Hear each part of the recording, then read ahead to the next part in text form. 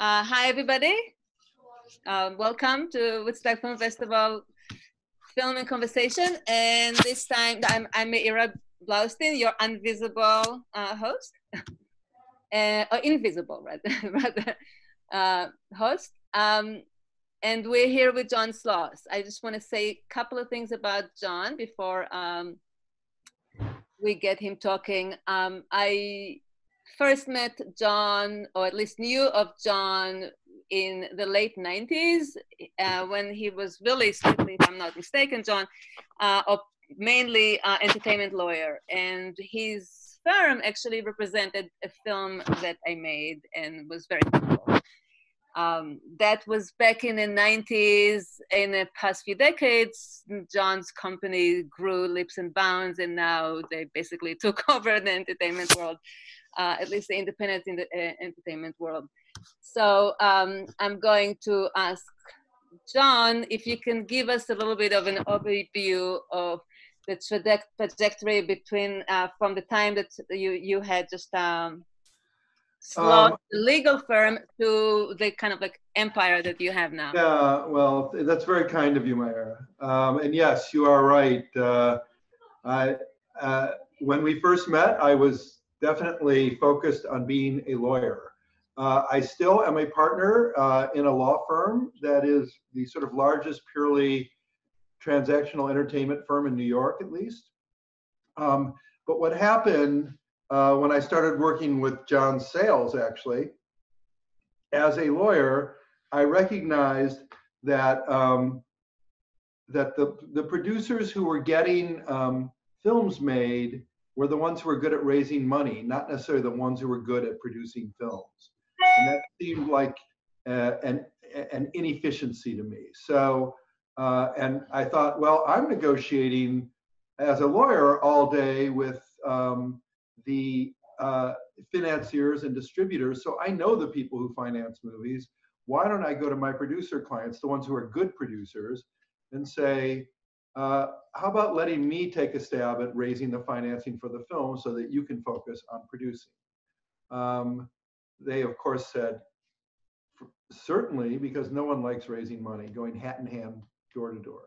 Um, so I started doing that. The first film I did it on was a John Sayles film called City of Hope. Um, I raised the money. Uh, I got an executive producer credit.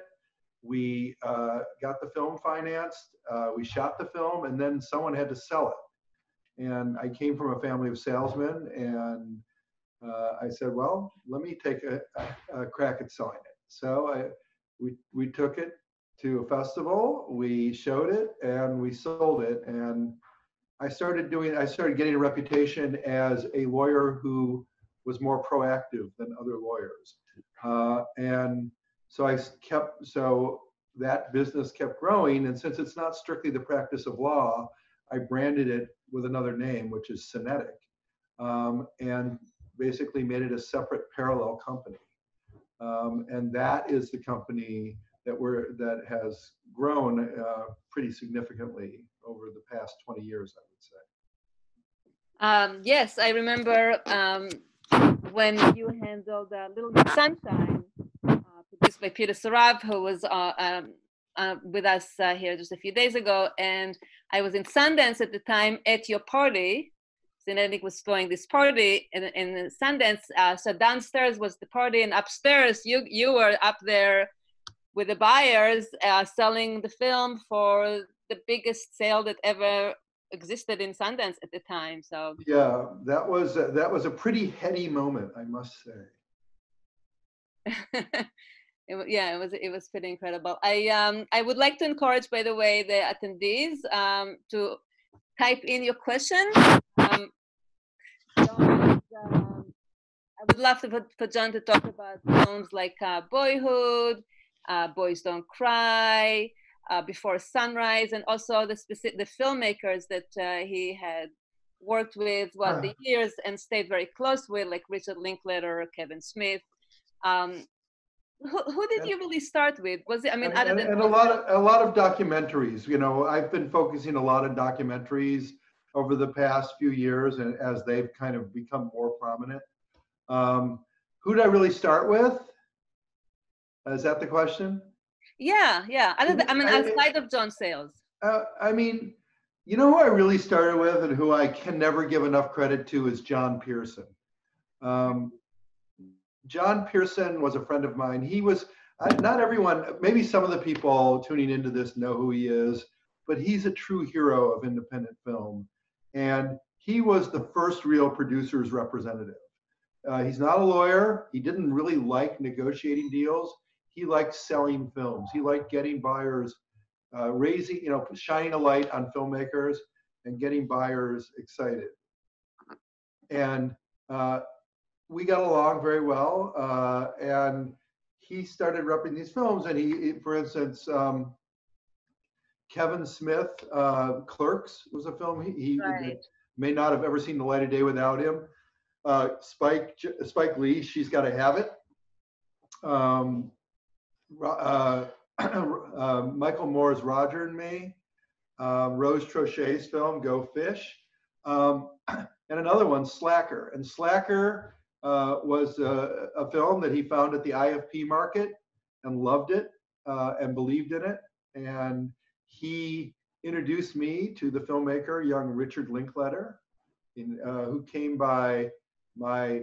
Uh, I, at that point, it was before I left my. I was at a big corporate firm, being an entertainment lawyer. So I was in this gigantic glass tower on the uh, 50th floor, and out it, walks this guy with cut off jeans and you know sort of an aw shucks attitude.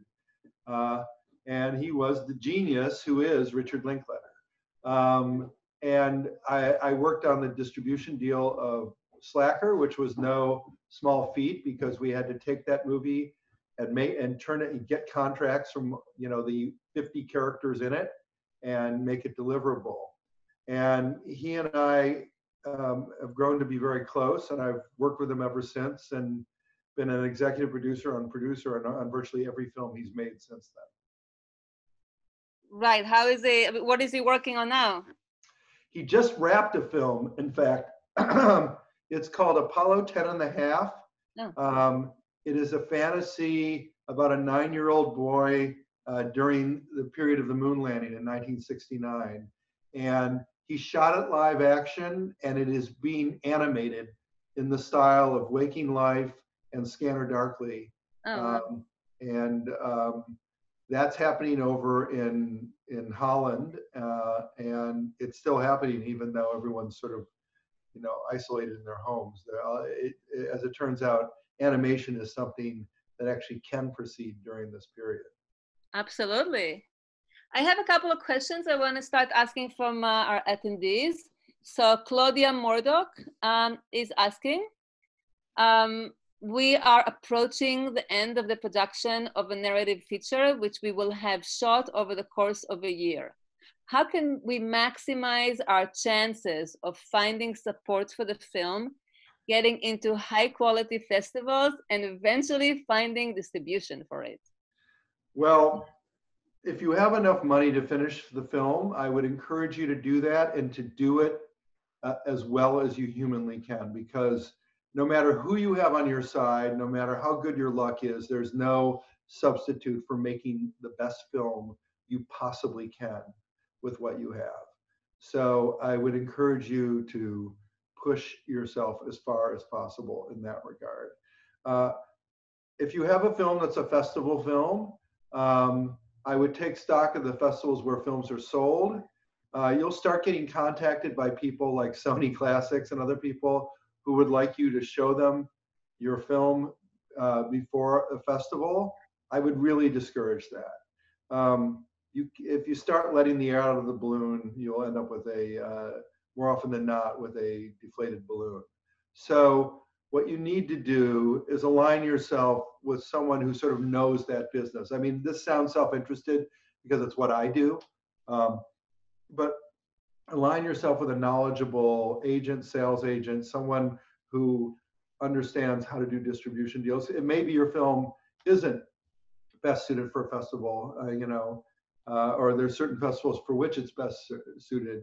But I would really sooner rather than later, and I would say before you finish the film, align yourself with a reliable, um, you know, uh, experienced sales agent.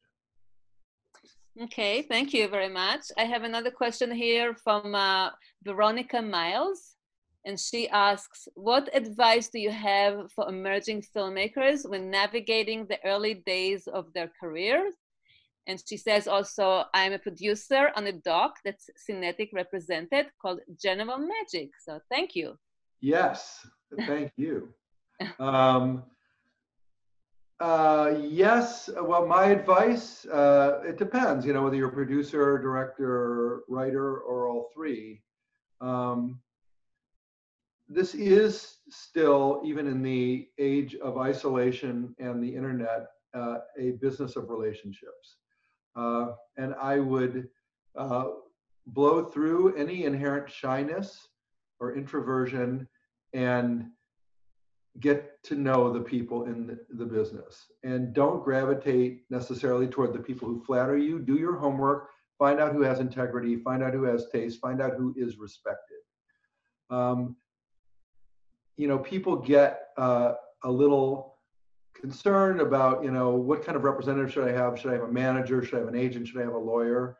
Um, my answer to that and i think it's one everybody should take on board is that it is so hard in this business to cut through all of the noise that if you can find someone, no matter what they call themselves, and no matter how many of them there are, who is respected, who understands your vision and your your talent, and who is willing to throw down uh, for you, then hire that person. Um, it, it, they really do have to have experience and be respected and they have to sort of have all these components and really believe in you. But if you do, you could have two managers. You could have a manager, an agent, and a lawyer. It doesn't matter. Uh, if you're worried about the difference between keeping 85% and 75% or 90% or even 100% of what you do, uh, then you're focusing on the wrong thing. Um, it's hard enough to make it, and when you make it, um, you're you'll be making so much more uh, that 75% of what you make will dwarf 100% of what you would have made if you hadn't had the right people uh, representing you. Thanks, and thanks, Veronica. I have another question here from um, Sage Higgins, and she's asking. Um, she says, "I I know the experience of shooting Boyhood was definitely a unique one. What challenges did you face in this very long um, 12 years, if I'm not mistaken, uh, process? Well, the, the, the, challenge that I face, Richard Linklater faced his own challenges. You know, um, his, you know, his, his challenge to all of us was he wanted to do a film about the period from kindergarten through high school. Uh, he he didn't want to cast different actors as the same character. Um, uh, so he didn't really know uh, how to do that. And he got frustrated and finally said, I'm going to sit down and write a novel. And he sat down and then he said, wait, actually, why don't I cast this movie and make it, you know, uh, 10 minutes a year, basically, worth of film over 12 years with the same cast. Uh, and he came to me and said, this is what I want to do. Um, you know, the whole idea of film as a business uh, requires, you know, traditional metrics for investment. Like you invest money, you uh, look for a return. Uh, you realize that you're, you're, you know, you try to keep your money out as, as short a period as possible and get your get money back quickly. Um, the idea that this film would, that the people invested in it would not have a chance to begin to recoup their investment for 12 years made it a very hard sell. Um, we ended up getting IFC to finance it, which is a miracle. And it's really due to this guy named Jonathan Sehring, uh, another Woodstock Film Festival honoree, I might add. Um, and uh, he, uh, he convinced his corporation to take this chance. And what I did, I guess my real contribution to this was I created a structure uh, that they found acceptable. And that is I rather than committing them to fund all 12 years uh, up front, we made it a series of 12 one-year options. And after each year, we'd go back to them next year, the next year, and say, "Are you going to fund the money for this year?" And uh, they would either say yes or no. And if they said no, we had the right to take the film to other investors and to put IFC's investment in the back behind those investors. So they had a, an inducement to, to exercise the option every year, but they weren't obligated to. As it turns out, they did exercise it every year. Um, and we got, you know, that was just a charmed project. The, the other thing is that by law, you're not allowed to bind people to personal services contracts for more than six years. So after six years, any of the actors in this movie could have just said, "We're not. I'm not showing up, or I'll show up for a million dollars." Um, and that was a that was a real leap of faith that Rick took, that the financier took, that we all took. And Rick is the kind of person you would kind of you would take that uh, leap of faith on because he is incredibly charismatic. He does things for the right reason, and he was smart enough to cast the right people. And, and one of them we weren't worried about because it was his daughter. Mm. Um, but the the other three, and Ethan Hawke was a pretty good bet. Uh, but Patricia Arquette and Ellar Coltrane, uh, Ellar was you know five when we started, um, and he showed up every year and just brought it. Uh, so I would say those were the challenges. It's, it's amazing that uh, I mean, other than the funding, that you, that all those actors were able to commit themselves to a specific time of the year. I suppose over the course of that many I mean, years. Well, there was flexibility, and we worked around people's schedules. It, it didn't happen on the same weekend every year. But you know, Rick didn't know Patricia Arquette. He just thought she was right for it, and he had one phone conversation with her, and basically took that ride with her, and she took that ride with him based on one conversation. Right. Wow. Um, so I have another question here from, uh, and I hope I'm not butchering your name. Tivoli Silas um, is um, the name, and he's asking. He's a director, so he's asking, as a director, which is the best way to find producers for your film? Would submitting a film to the uh, blacklist and contest would be best or pitching or both. Uh, can you address that a little bit? I would say the best way is to hang around the woodstock film festival. Okay be a little bit more real. All right okay sorry. Um, uh, i think but i mean a version of that i do think this is a business of relationship. I i think the idea that you're going to show up and find the right producer for you right off the bat is is not necessarily the right way to do it. I think, uh, and this is a piece of advice I give people all the time. Um, people tend to gravitate toward people who want them. Um, I think the better course of action is to do your homework and figure out who you want. Uh, because the person who wants you isn't necessarily the right person for you. Um, and so I would really make these relationships. I would study and find out who the producers with good reputations are. What kind of producer are they? Uh, do they work well with filmmakers? You know, are they are they a financier's producer in that they defend the financier, or do they default to the filmmaker, or do they tread the ground in the middle, where I think the best producers are? Um, and are they uh, are they uh, you know uh, compatible with you and what you want to do. And you got to kiss a few frogs. You should not assume that the first person you you uh, you know talk to or you know or even think about being with or even do your first film with is is a person you're wedded to in that regard. So um, I would really really if this is the career you've chosen, you know, as a I I love to say this saying, even though it was said to me, Oliver Platt said to me once, and he, he said it about actors, but I think it's true about our end of the business in so many different ways. He said, if you have to decide whether you want to be an actor or not, you shouldn't bother. Um, and I think that's true of all of us. And if you want, because, and I tell all the people I work with at the, uh, um, that um, everyone at Cinetic and the law firm even could make more money doing something else. So there has to be a component of passion to what you do. If you if you're it's so competitive in the film industry and so hard that you you have to really have no choice. It is your calling. And if that's the case, then you have to put in the work. You have to put in the research. You owe it to yourself to uh, to get as smart as you can, because uh, you know you can have an agent, you can have everything. Uh, no one knows you as well as you know yourself, and and if you trust your instincts, uh, you will find the right people. If you put the work in, you'll find the right people to associate with. That's very, very good advice. Thank you. Um, I have, um, I'm debating between these. I have, I have a question here that is a little bit of an extension of what you said, or at least uh, related to that. So I'll take that. And first, and that comes from an anonymous attendee.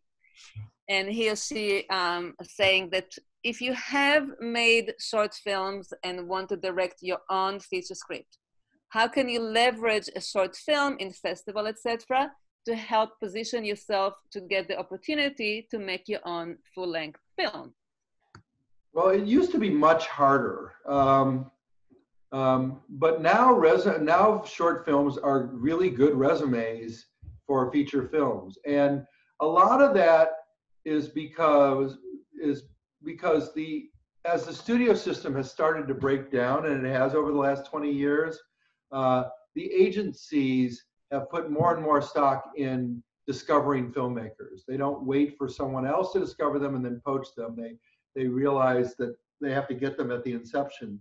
So sometimes, for instance, at Sundance, the toughest ticket is the shorts program, and because and you go there, it's all these really sort of snappily dressed people with you know 40 watt smiles, and um, or 400 watt smiles. I guess 40 watts not that much of a smile, um, and uh, And so you really get a fair shot when you make shorts. Um, the other uh, thing is that buyers or many platforms have come to realize that the statue they give you at the Oscars for shorts is identical to the statue they give you for Best Picture.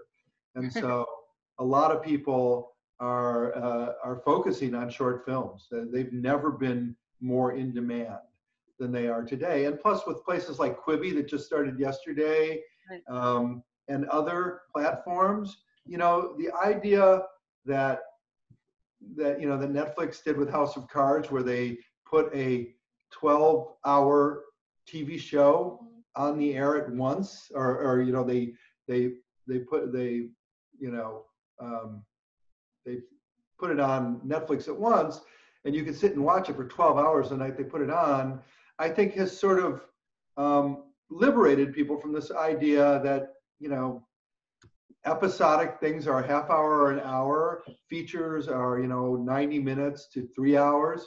Uh, I think people now are getting accustomed to watching uh, narratives of whatever length they are.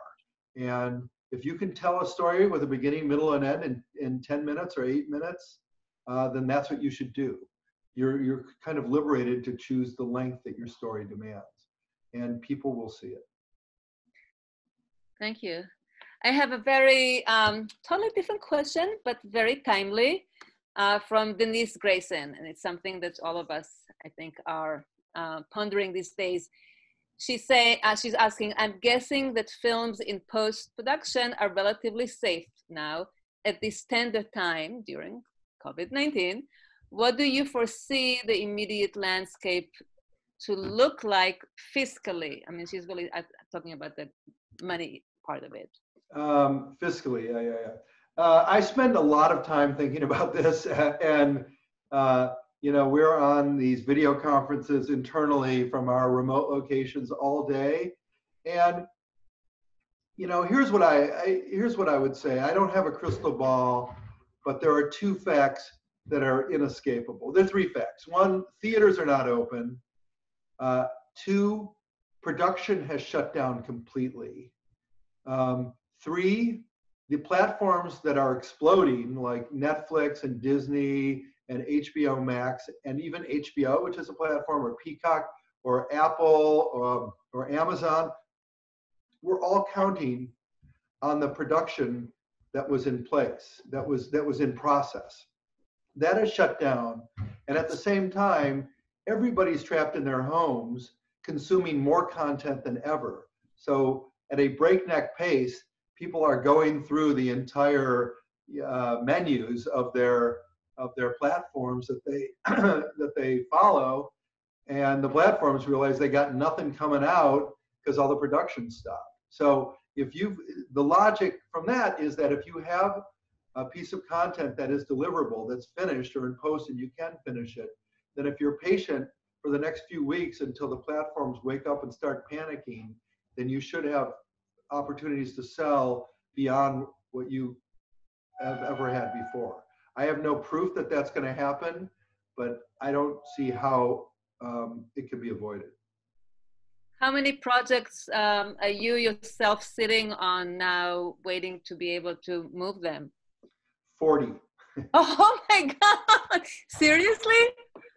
Films. We had films that we that that never that that didn't get sold out of Toronto and a Sundance. We had the films we were going to take to South by. We had the films we were going to take to Tribeca, and we, you know, we have films we were submitting to Cannes and and oh. films that were just being finished for you know the fall festivals. Yeah. Yeah, it's tough. Um, I have um, a very specific question now. I'm completely shifting the, uh, to another subject from Avery Davenport, and he's uh, he's um, asking, he's talking about boyhood. I mean, boys don't cry, rather. Sorry. He says transgender rights wasn't really the forefront of civil rights conversation when Boys Don't Cry released two decades ago. Yet the film was a huge critical success and won an Oscar. What elements of the project made it worth it to take the risk?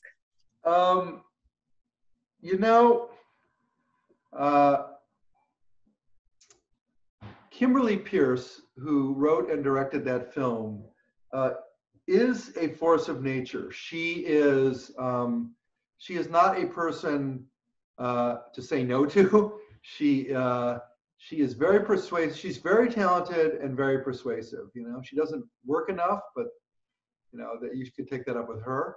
Um, uh, she found um, she came up at a time she found Christine Vachon, which is always a good person to have on your side, and that was at a time when um, you know when John Hart and Jeff Sharp had money from investors and were investing in films like this.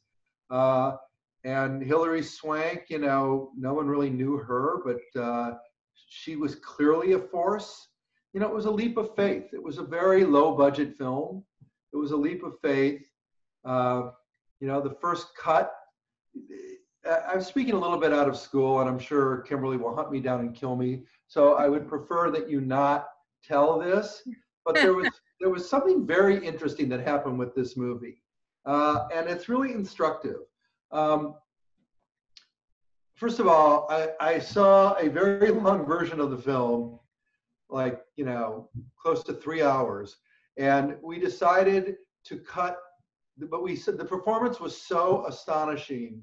We decided to cut a reel when people weren't doing that back then, you know, like a 10 minute reel of select scenes uh, and take it to distributors. Uh, and so my job was to sell the film we all worked on the reel. We cut it. Uh, we, we took it to a number of places. I took it to Lindsay Law, who was then the head of Fox Searchlight, which was um, before uh, Peter Rice was and before Nancy Utley and Steve Gilula are now. Um, I showed him the five minutes. He had been in American Playhouse. He understood um, this kind of storytelling, and he bought it on the spot like that. Um, we, we, we delivered a very long film that wasn't there yet. And Kimberly was having a hard time find, you know, she fell in love with a lot of the material and the film was just too long. It wasn't its best version. And Lindsay Law had a suggestion that I will never forget. And, uh, and it was um, take this film and cut a 90 minute version of it be ruthless. Uh, and then once you've done that, you will find what you cannot live without. Mm-hmm. Um, and Kimberly, to her credit, did that. Uh, and she was smart enough to realize what should be in that 90 minutes and what she couldn't live without. Uh, and that turned out to be the final version of the film, and it's one we're all obviously very proud of. Wow. Excellent advice. Um, thank you. So I have a question um, from Christopher Schiller, and it's kind of like um, a do-over question. If you were starting out again now, branching out from entertainment attorney to producing, and were able to give yourself advice from your current experience that you were unaware of when you started, what would that be? Um, I got a very, I've gotten a lot of good advice along the way. Um, you know, when I was a young entertainment attorney, um, the guy, the guy who trained me, I was, I was very, uh, Meira will, will um, attest to this. I was, I, am an excitable person. I can be forceful. I can, uh, you know, I'm not, I don't know, I'm got a lot of energy. Uh, and one of the pieces of advice that the guy trained me said, John, try to be more gray. I think now I'm obliging him, but um, but uh, so that was a piece I took on board. Um, but in the middle of my career, when I was having a fair amount of success, I was I was complaining about something to someone one day, and and this person who was very successful themselves said, John, why do you spend a minute working with people you don't want to work with? And that's a very interesting question because you get caught up in chasing money, you get caught up in chasing success. But what you realize is you've got a limited number of years, a limited amount of time on this planet, and you know the quality of your life is more, certainly more important than money. You know, money informs it, but people tend to lose the their perspective on that. Um, you know, what good is making a lot of money if you're miserable? That's it's like that's like a cruel joke. Um, and um, the, tricky thing about it is that along the way you'll find people who are immensely talented, but who, excuse my French, are assholes. Um, and that's trickier because if you want to leave a legacy on this world, if you if you're doing this for the reason a lot of us are doing it, it's to facilitate great art.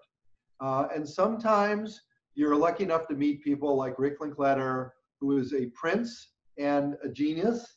And sometimes you meet other people who I won't name who are immensely talented, but who you feel guilty working with. Um, and uh, so I guess I'm sort of, you know, modulating my own advice, but I wouldn't assume while you're doing it that the people that you have to work with the people you're working with. And sometimes maybe you need to take a step back and say, is this the right direction? Are these the right people?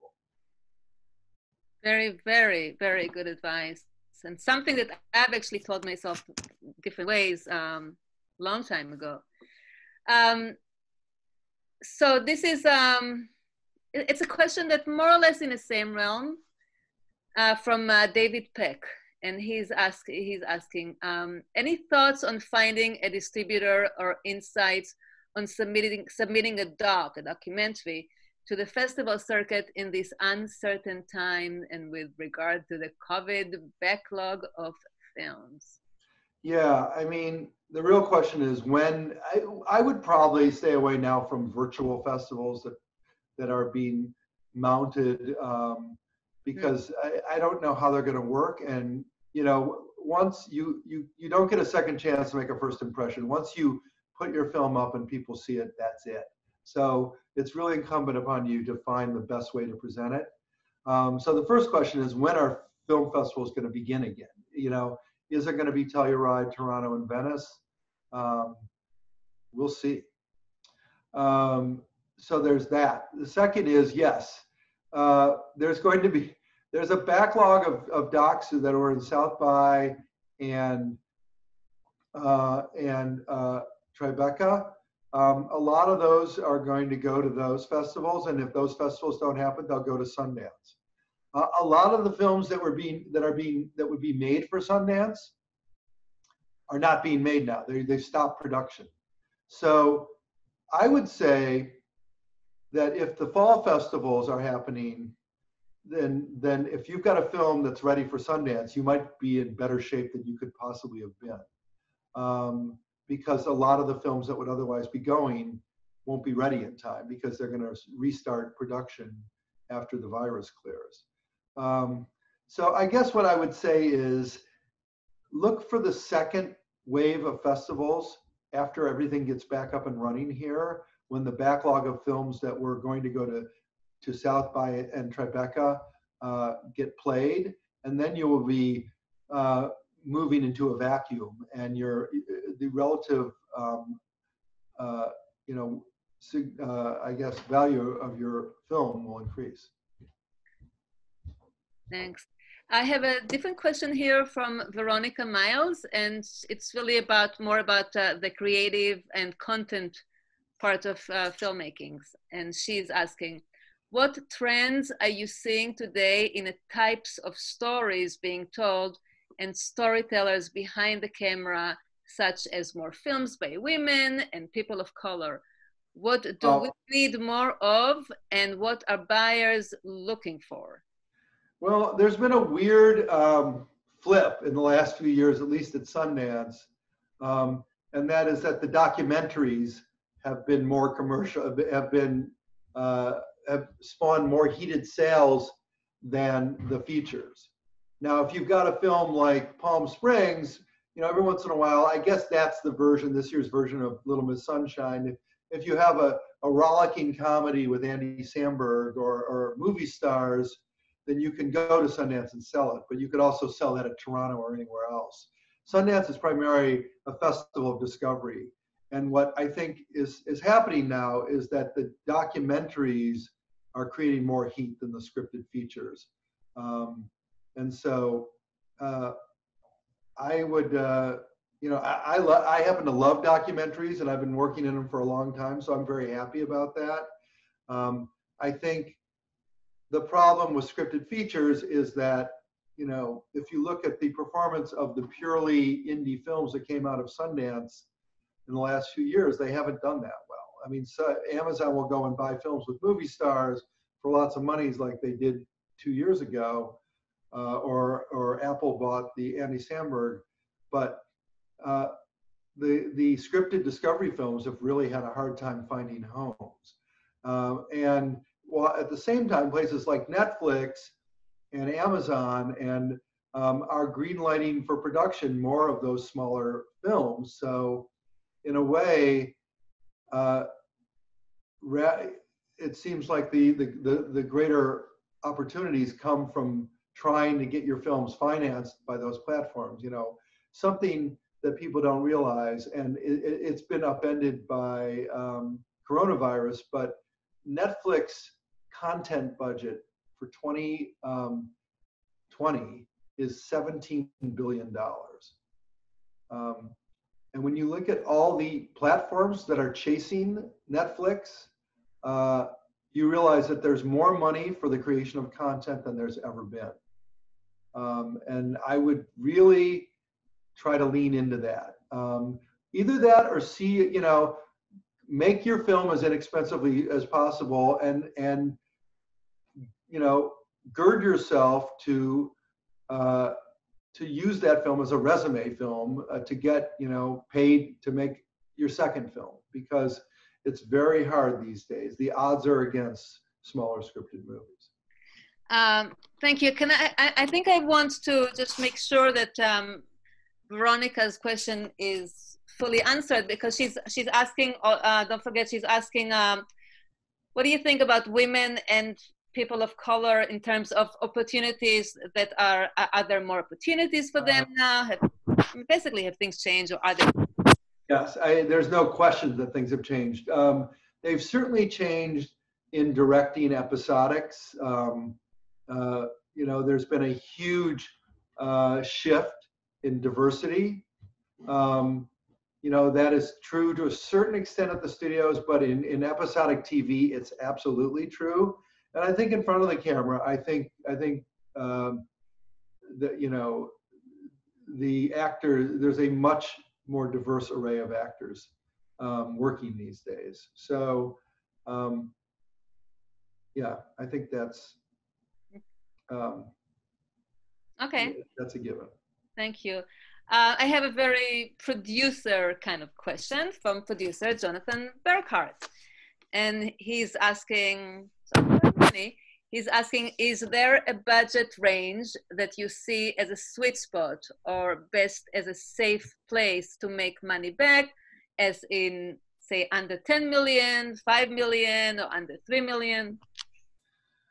Yeah, I mean, honestly, if you have no uh, cast, um, uh, you know, significant cast, uh, unless even if it's genre, if you look at someone like Jason Blum is making films, still making films under three million, certainly under five million. If you if you're making a drama uh, or something that's entirely execution dependent without any name talent, I think you're being irresponsible to make it for more than three million, um, unless you're an established filmmaker. And of course, you've got to make it somewhere where there's a tax credit. Um, maybe three million is a little low, but it just uh, I would be careful about that. I think in a weird way, documentaries are more reliable. I'm, I'm sorry, I'm always touting documentaries here, but if you can make a documentary on a commercial subject that hasn't been beaten to death um, for under a million, uh, you're going to be in better shape than a than uh, even a you know a good script of a scripted independent film for three million. Okay, thank you. Um, I'm going um, to a different question now, and that's from another producer, Todd Remis, who says, first of all, hi, Meira and John.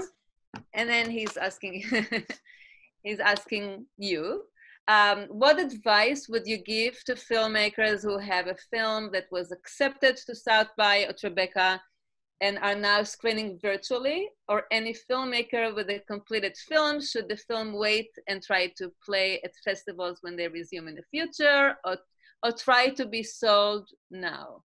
I mean, I know I'm not making friends with uh, my friends at Tribeca, but I would really resist screening. If your film was in Tribeca, I would really resist screening it virtually as part of the festival. I, I would realize, you know, it may be that buyers are to, what? Explain, explain why. Because it's just not the best.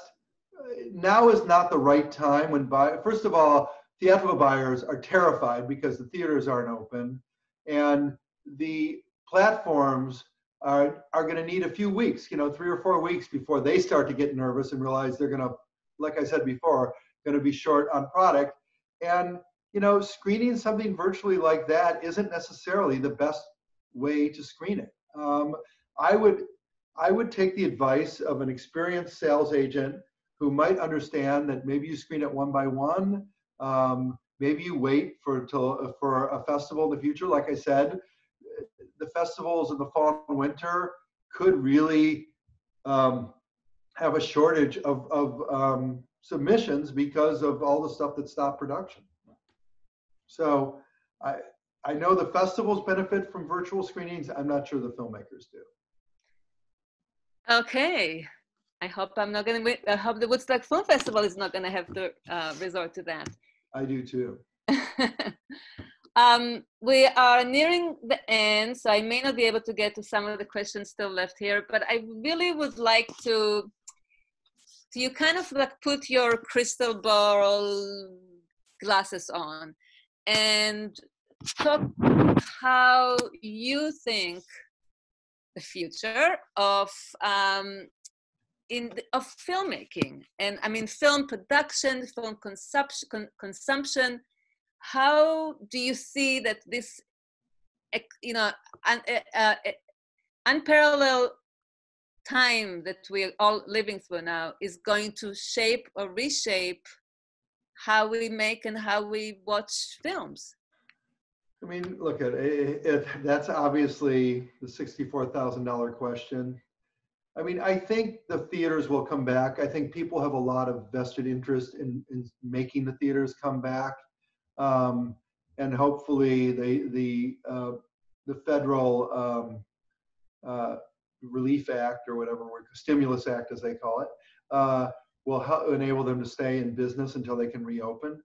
Um, the I don't think there's any question that the blockbusters, you know, the the uh, superhero movies and the, the films that are visceral and and that viscera is a is is an element of of the view of the viewer experience uh, will survive and maybe even thrive.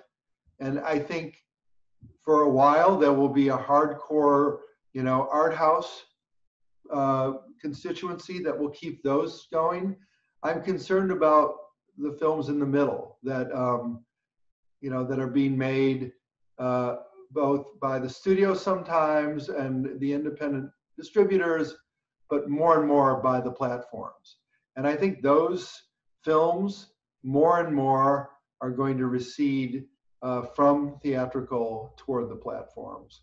And you know, I mean, I've fought for years these filmmakers who said my film has to be shown in public, it has to be shown on a giant screen. Uh, you know, there are a lot of people who did themselves a disservice by insisting that. But I, but I, I would be lying if I said I, I'm, I won't miss seeing films. You know, I that way. I, I films that are up for the Academy, I always see in theaters. I don't watch them on screeners if I'm considering them seriously. Um, I don't watch films on planes. There's something about, you know, a theatrical experience that really means something to me. But I think, you know, I may be a bit of a dinosaur in that regard. And, you know, while there's more money than there's ever been for for content, and while, you know, people have gigantic television screens, maybe the idea of making something directly for Netflix or for a platform is not the worst thing in the world. And I, and I work with filmmakers who are more and more coming to that conclusion. Okay. Well, um, as we near the end, I want to read um, not, a, not a question, but a comment uh, from Veronica Miles, who says, uh, Thank you so much, John and Meira. The answers have been excellent, inspiring, and helpful. Best webinar I have seen during quarantine. So I don't know how uh, many really? webinars well, you've seen, but I've been told I've been I've been told that if you if you like this, you should follow me on social media. That's, what, oh, that's good, good. People I work with told me to make a plug. But thank you very much. That is a very kind uh, statement. So uh, on this note, I want to thank everybody who joined us uh, on uh, Zoom and Facebook Live. I want to thank John Sloss. Um, he's um, amazing producer, and I hope that some of you uh, at, attending here will get to work with him. He's incredible. And uh, join us this coming Thursday. We're doing another webinar with this time with editors Kate Sanford and Brian Kates, who um, the marvelous Mrs. Maisel. So we're going to talk about that. Be sure to say hi to Kate for me. I haven't seen her in a long time, and she's one of my favorites. Uh, she's she's fantastic, and as as is her husband, who's also an editor, Gary. Um, oh, there we go. And Meira, thank you so much. You're a great host. Oh, thank you. you're you're a guest. You're a wonderful panelist. Uh, so thank you all very much. Have a good rest of the evening. We'll see you next time. Okay. Bye, everybody. Bye.